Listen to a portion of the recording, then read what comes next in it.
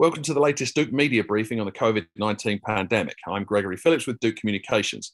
A US Food and Drug Administration advisory committee voted yesterday to recommend Pfizer's COVID 19 vaccine be approved for use in 5 to 11 year olds. With us today to discuss the safety and effectiveness of this vaccine for that age group is a physician who led a trial of COVID vaccines in children under 12 this year.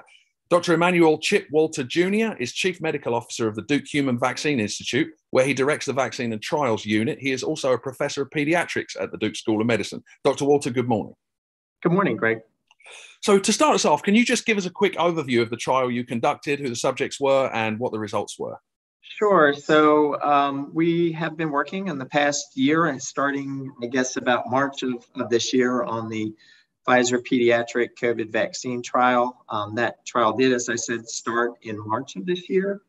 And it's really been conducted in, in a few different phases. The trial includes children from between the ages of six months up through 11 years of age. And um, basically, the trial uh, first uh, includes those group, uh, that, that age group of children, but really in three different kind of cohorts uh, within that age group. So it's children between the ages of 5 to 11, and then children uh, between the ages of 2 and 4, and then children between the ages of 6 months to 2.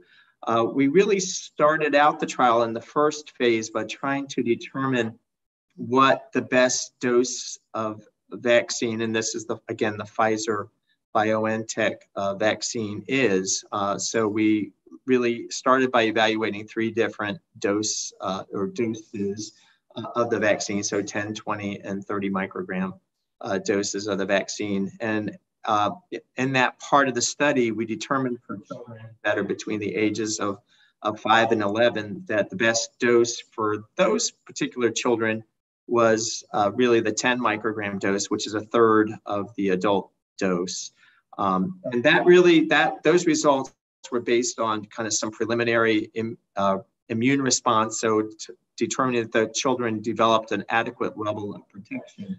And also that it was really the, the dose that was best tolerated uh, for children that age.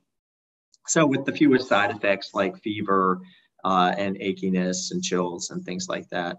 Uh, so from there, uh, we went on uh, to evaluate in larger, a larger group of children, and I'm just going to really concentrate on the, the age group that you mentioned um, that is approved for the FDA. We concentrated the study in children uh, between the ages of 5 to 11 uh, and uh, vaccinated children. Children were randomized 2 to 1 to get either 10 micrograms of the BioNTech vaccine or placebo. Uh, so they were twice as likely to, to get vaccine in that, in that part of the study. And then monitored children uh, for for side effects and uh, safety and looking at their immune response as well. Uh, so parents uh, were given uh, a diary to report symptoms on a, a, daily basis for seven days after children received the, each dose of vaccine. The doses of vaccine were uh, given three weeks apart, just as, as with adults. and then we measured, um, obtained blood samples from a, a portion of the, the children uh, looking to see whether they got protection from the vaccine. So uh, that study uh, included about 4,500 children, about 3,000 uh, who received, over 3,000 who received vaccine, uh, and then about 1,500 uh, who received placebo. Sure, absolutely. Uh, certainly lots to dig into here. And one, one thing I wanted to ask you about, you mentioned that obviously you were looking to see uh, what dose uh, generated an adequate immune response. So, how do you measure that? What do you consider to be an adequate immune response to, to show that the vaccine is doing its job? Yeah, in this case, this was uh, uh, it's a good question. An, uh, what's called an immune bridging study or immunobridging study, where we look um, at levels of antibody in a comparison group, and in this case, uh, the comparison group was older uh, older children, so adolescents uh, who were, uh, you know, uh, slightly older um, and young adults up to age 30, um, and looked at their immune response in a subset of those people who were in uh, the original Pfizer trial. Uh, and compared uh, the responses in these young children to those responses. Because what we knew is that the responses in the older children um, uh, equated to a level of protection.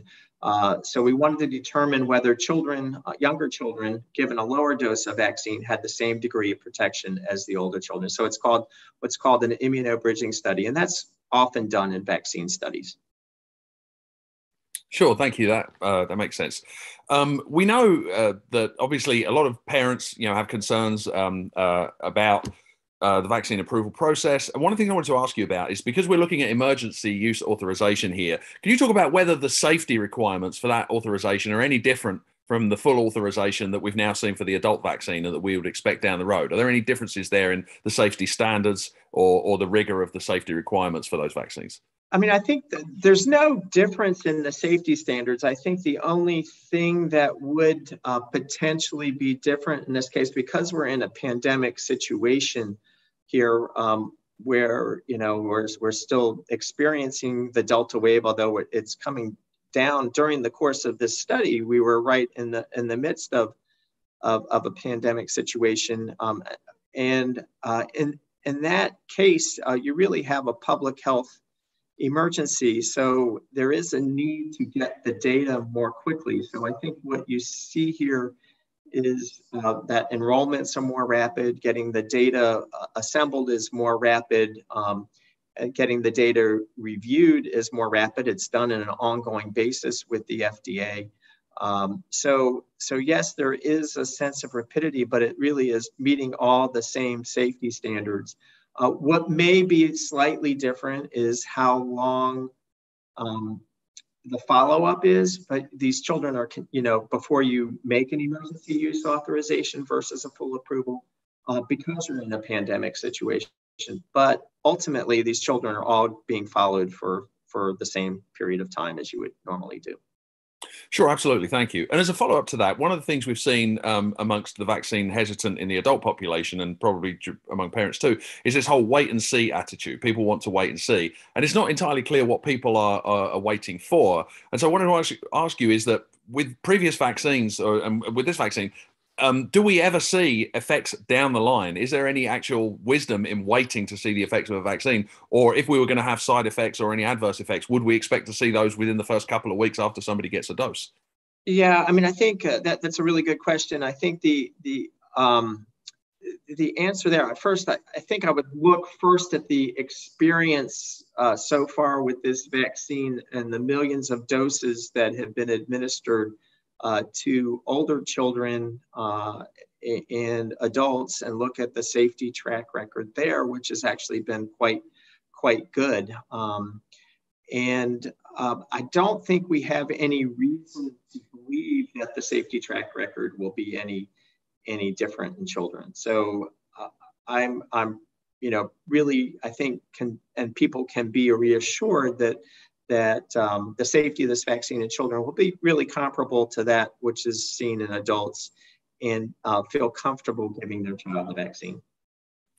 Absolutely, thank you. Uh, and just to be clear, is there any difference in the Pfizer BioNTech vaccine that children will receive versus what adults received, or is it just simply a difference in the size of the dose? Um, the vaccine is pretty much all the same vaccine. It will be a reduced dose. Um, as I said earlier, it's a you know a third of the dose. So this is a 10 microgram dose uh, versus a 30 microgram dose. Uh, when it is packaged, it will look uh, different. Um, I think that's one of the questions that has come up. It's certainly a question I had. What would what would it look like? Um, the I think the current vaccine has a purple cap on the on the vial. This one will have an orange cap on the on the vial.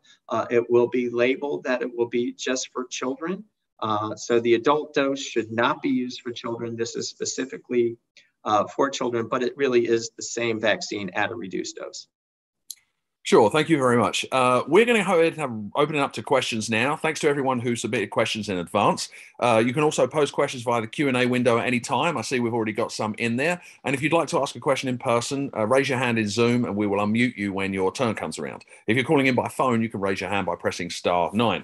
Thanks also to everyone uh, watching this on YouTube. So I'm going to go through some of the uh, many questions that we've had submitted in advance here.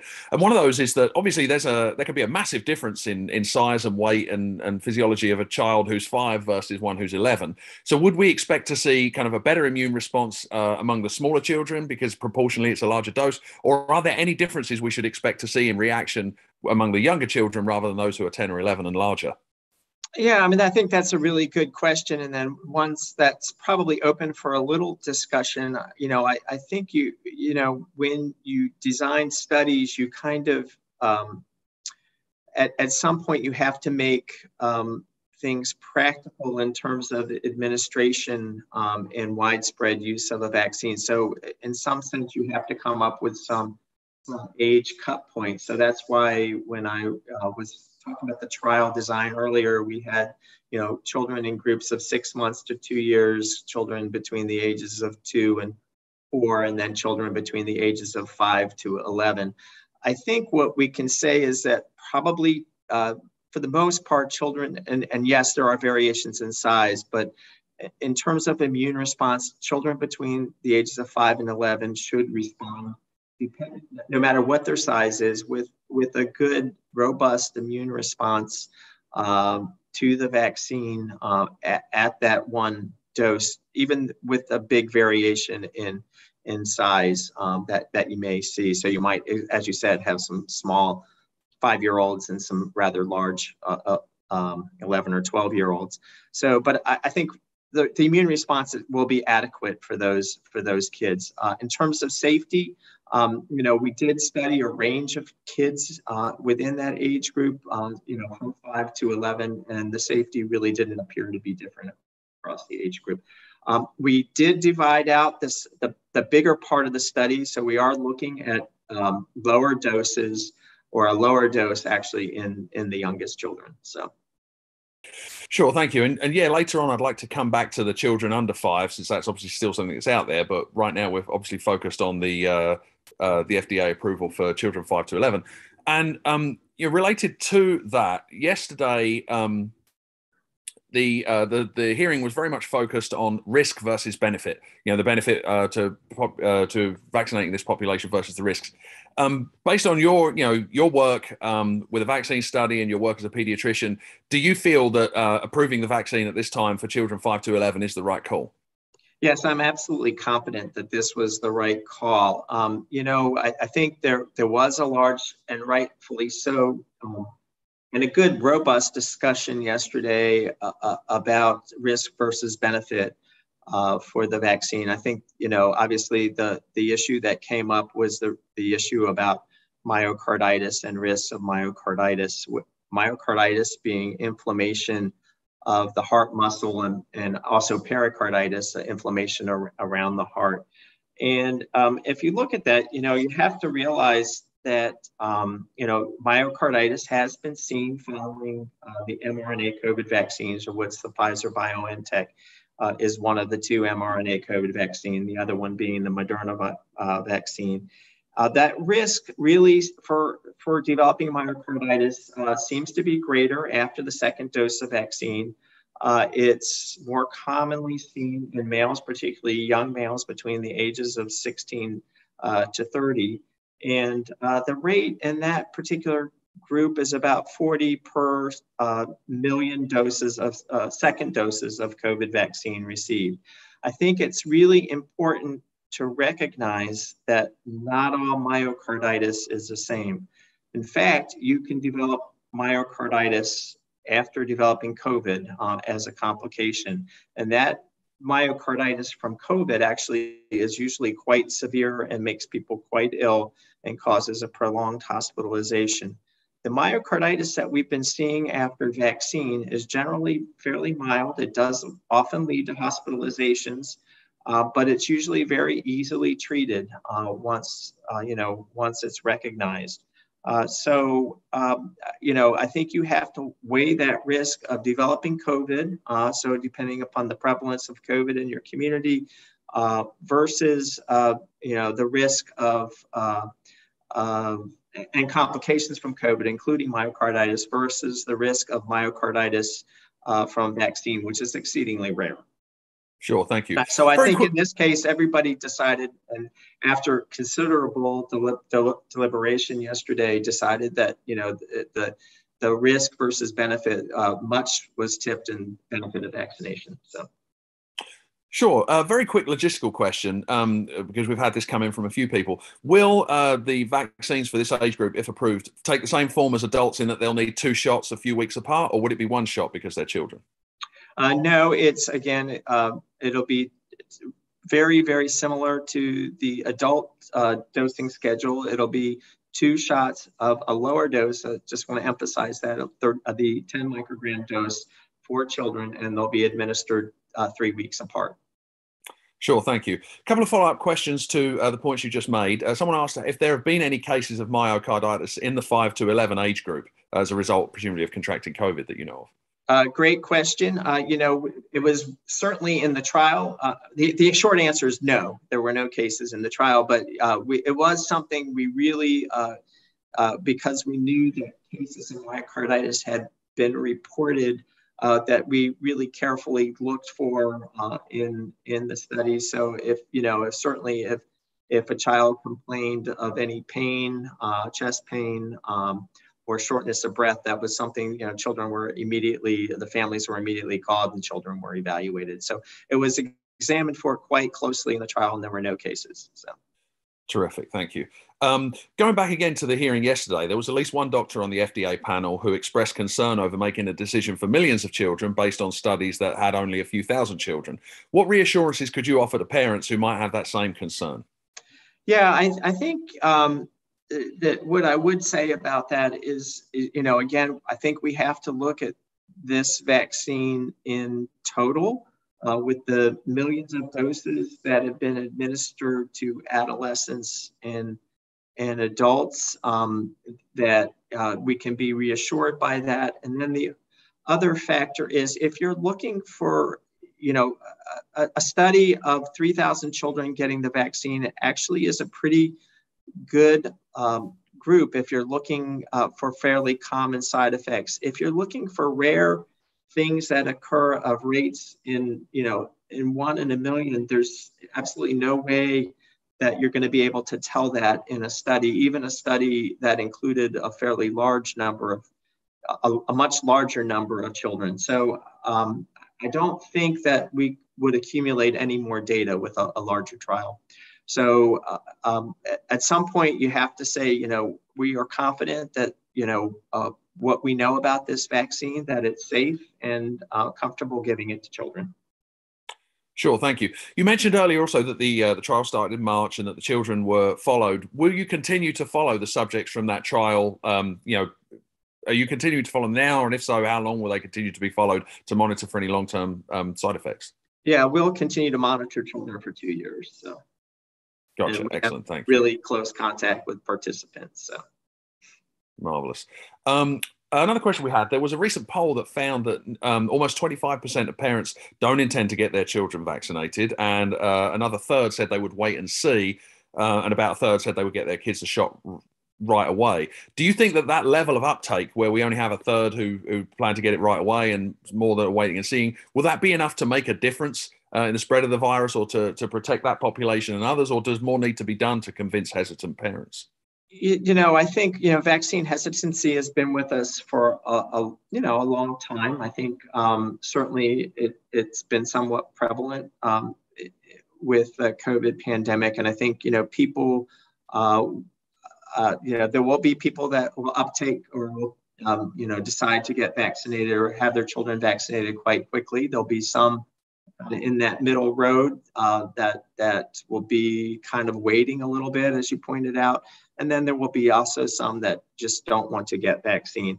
I think you know the the issue is you're correct that without achieving a certain level of protection in the community, um, uh, you may not get the full benefit of the vaccine to achieve what we call herd protection or community protection uh, from a vaccine. In fact, vaccination rates with this particular or coverage with this particular vaccine, uh, these particular vaccines with this virus actually probably has to be on the level of 80, 85% uh, to really achieve that kind of herd or community protection uh, from, from infection.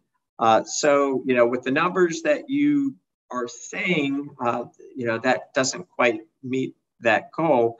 Um, but I think if you look at the population as a whole and consider that children account for roughly about 20, 20 some percent of the population, getting as many children vaccinated as possible will lead to overall population protection. So.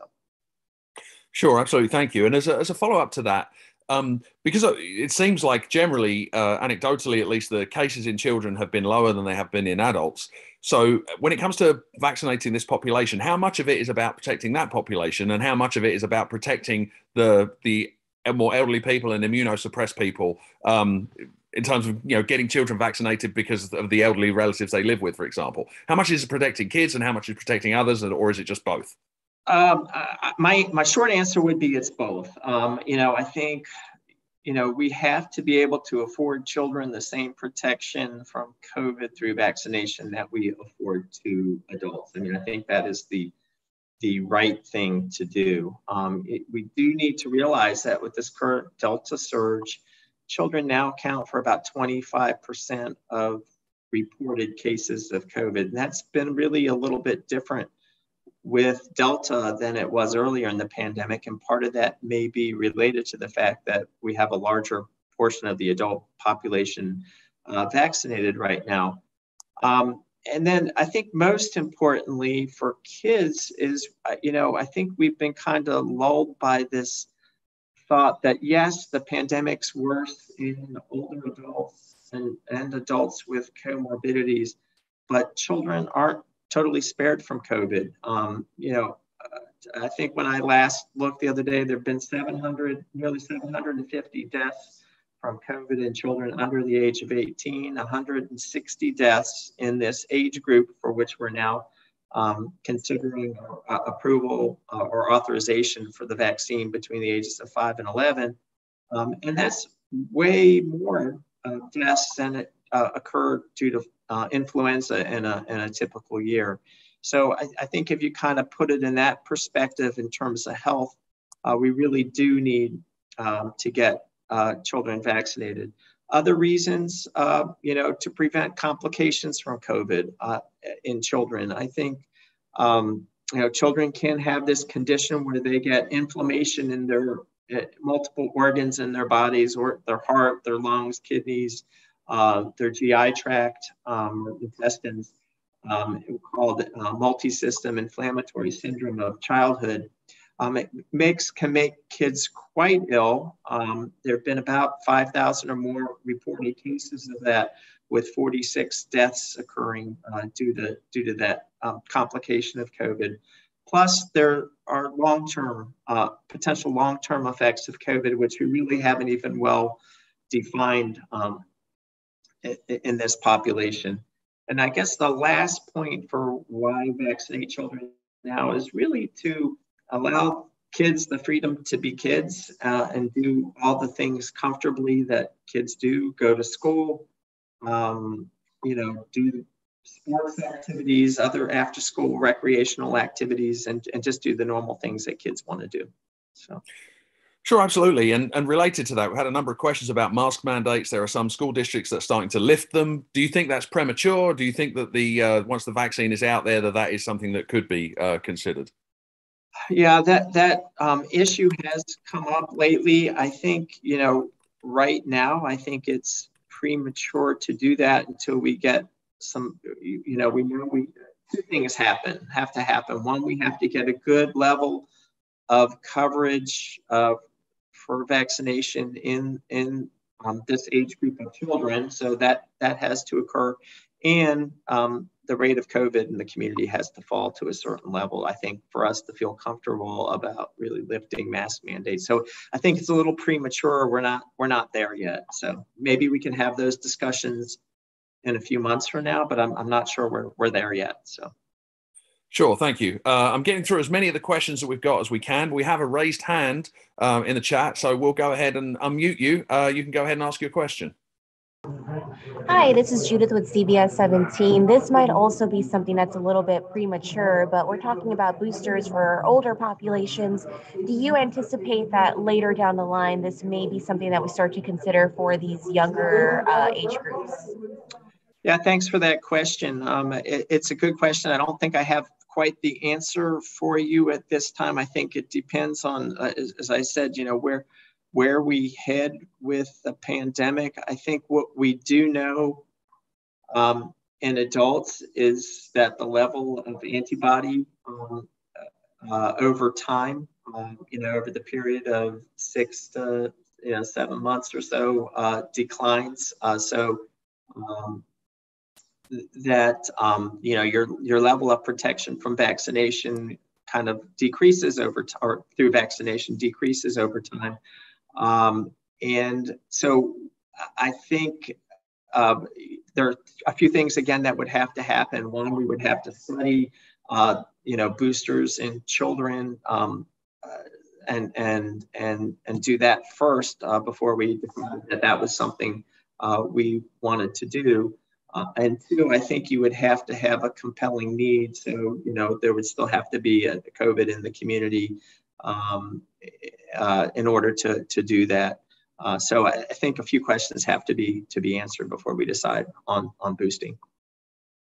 Splendid, thank you. Uh, we've had some questions about um, the nature of giving vaccines to five to 11 year olds. Would you anticipate that people would go to their regular family pediatrician to get this rather than having the kind of vaccine centres that we've set up? Do you think that the rollout should or will be different for children of this age group than it was for older kids and adults?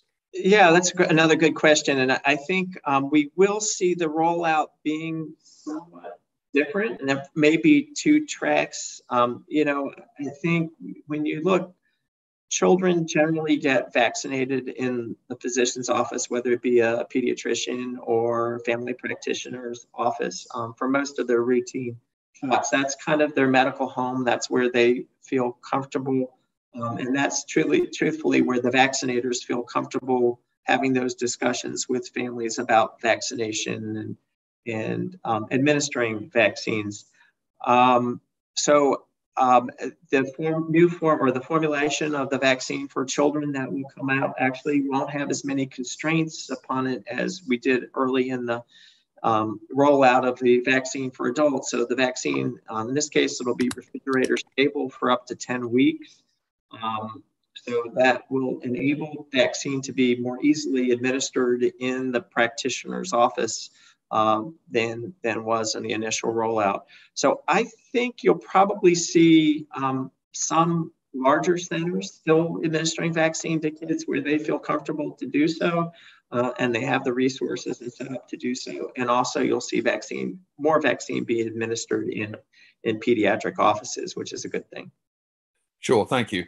Uh, we've had another question about uh, multi-inflammatory syndrome syndrome in children, which I know was a concern in some of the uh, some of the cases that kids have had. Um, and apparently, this question asks that there are some concerns about undercounted cases of multi-inflammatory syndrome in children. Do you share those concerns? Do you think that could have impacted the FDA's benefit versus risk analysis? Uh, I don't. Um, if you're talking about multi-inflammatory condition following COVID, um, which you know we know it occurs, I don't know that um, I, I, mean, I think that was considered in all the, the risk benefit analysis. Was it, uh, has it been undercounted? Um, perhaps uh, there are cases that aren't recognized recognized and, and reported. So um, that, that is certainly a possibility, which I think would actually, if, if there are cases of MISC that were undercounted, it really just tips the, the risk benefit into the benefit ratio so, of vaccination. Sure. Um, through the course of your trial, did you uh, have any breakthrough cases? And if so, how many did you see? Um, you know, if you look overall in the trial in, in this age group, yes, there were some breakthrough cases of, of COVID uh, that did, did occur. Um, there were 16 in the placebo group um, that occurred overall and three uh, that occurred in the vaccination group. Um, which you know calculated out um, because it was a two to one randomization, uh, gave us a, not, an estimate for 90% uh, efficacy of the vaccine. Now, what is remarkable, I think, when we set out to do this study, that we we set out early on. This was before the Delta wave, so.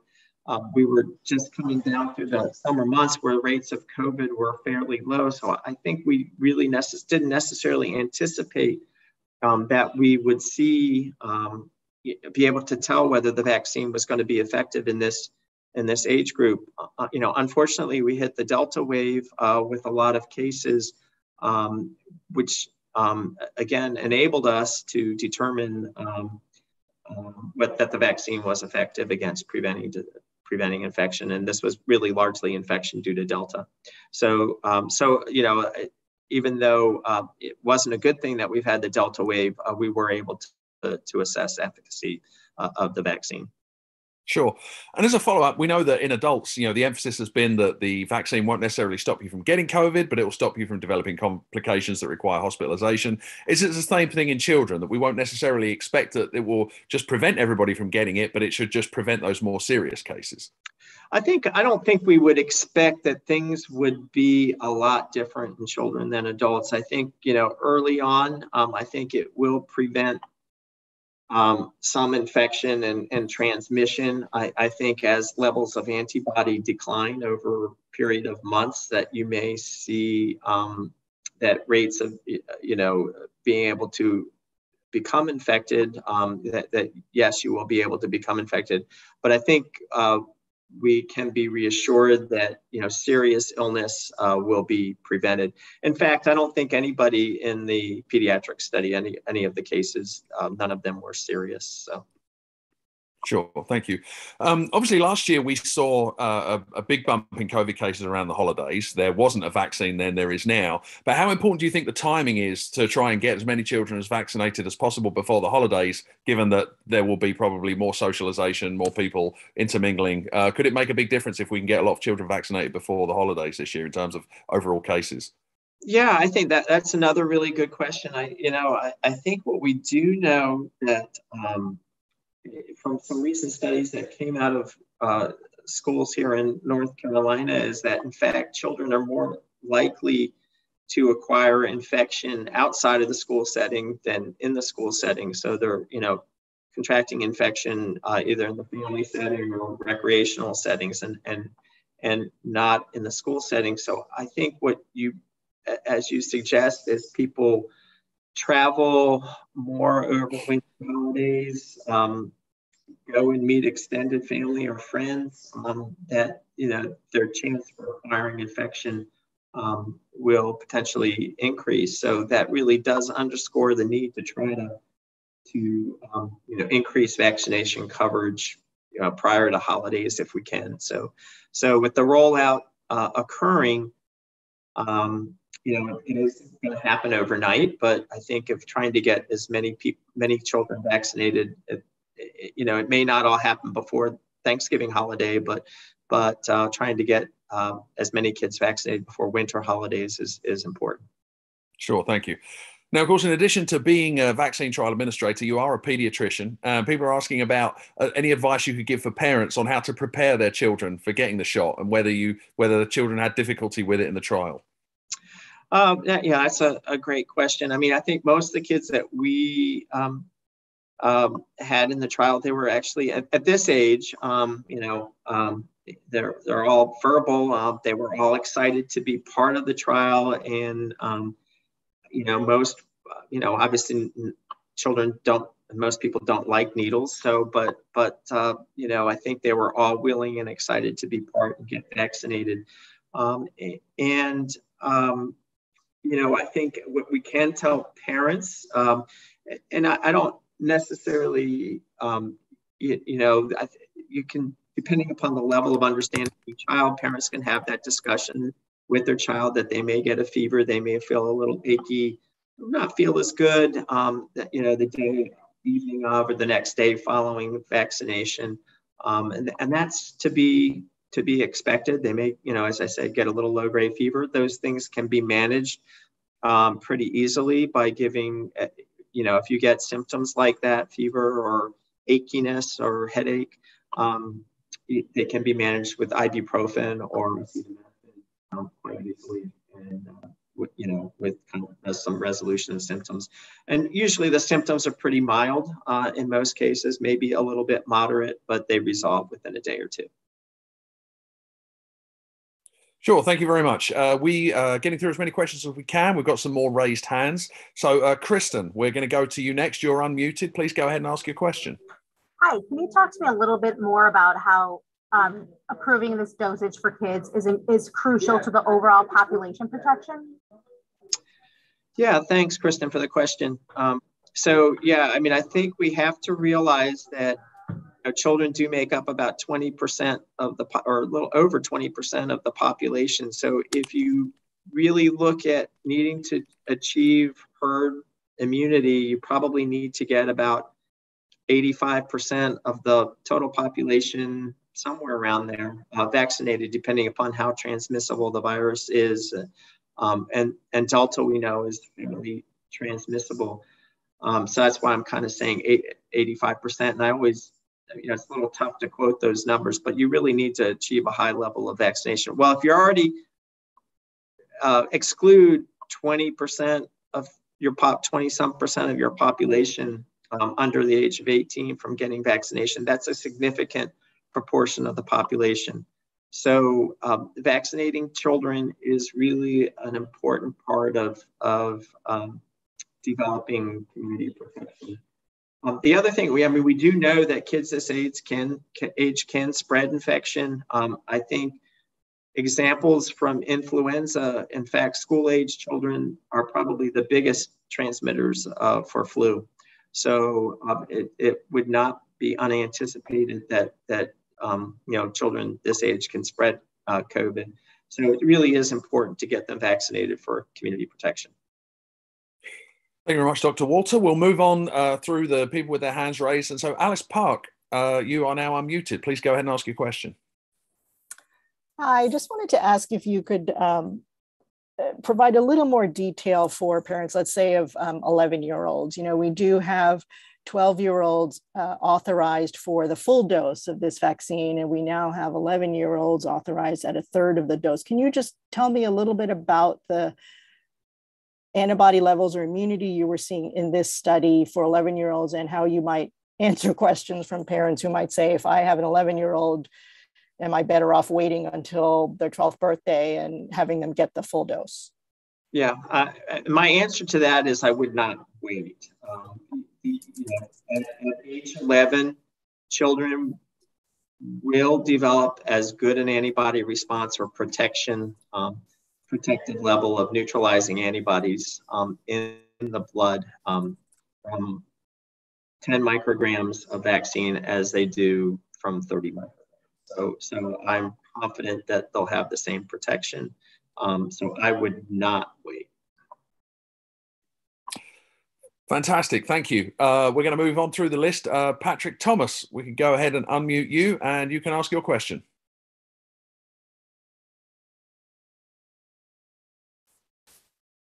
Okay, it seems like we may have lost Patrick.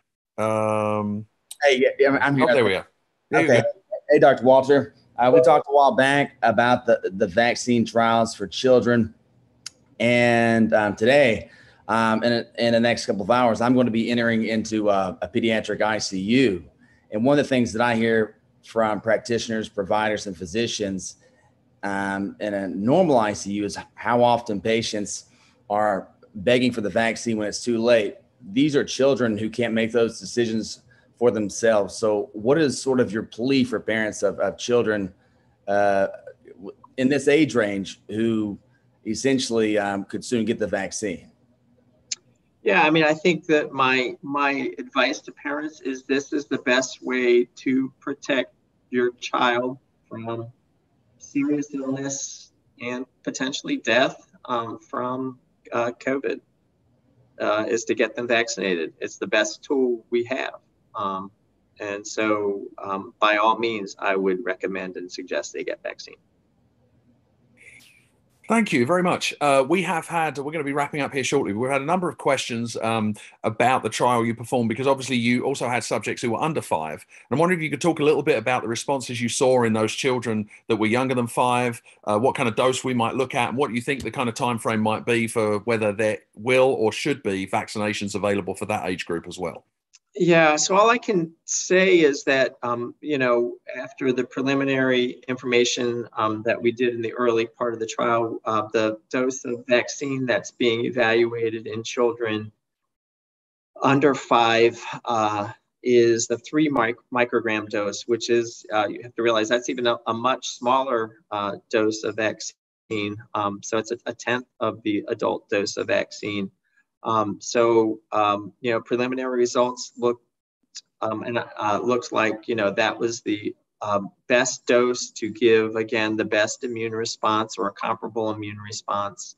Um, and uh, with the fewest side effects in, in young youngest, the very youngest children. Um, now that said, we have not, you know, the, the study is really looking at evaluating that dose in a comparable population size for each of these two two age groups. So, you know, there'll be another uh, like five or six thousand children uh, in the in the two to four age range and a, a similar size uh, under under uh, between the ages of six months to two. So it, there will be um, data forthcoming that really you know shows whether that dose gives a, a, comparable response. So it's it's you know we have to get wait for the confirmatory data. Uh, likewise, we have to wait, make sure that it's uh, safe um, and tolerable in children that age. Um, so that those data will be forthcoming. I think we probably will see something sooner um, in the children ages two to four than we do six months to uh, two. Um, you it's, it's been a gradual um, um process. Uh, so we will see that data um, in the upcoming months. I suspect that, you know, probably we won't be vaccinating those children uh, till sometime early next year. So, but I, I don't have the, the, total timeline on that. Gotcha. Thank you very much. Uh, we're going to wrap up here shortly, just trying to cram in another couple of questions. Uh, there were some concerns on the advisory committee yesterday about how a recent infection might impact the risk of my, myocarditis post vaccination. Do you share those concerns, or would a higher risk make sense given the pathogenesis of myocarditis? Yeah, I think we really don't know the, the total pathogenesis yet of of um, what's causing, um, you know, uh, post-vaccination myocarditis after the mRNA vaccines. We really don't know. So, I, you know, I think if I speculated, uh, there are several things you could speculate. You could could speculate that it, you know, you get a much larger immune response after having had COVID and then getting a vaccination, and that may be uh, an issue, um, you might speculate that it's dose related. I don't think we have those answers yet to know that. So, so um, you know, I, I don't know that I could can comment a lot farther on that. So.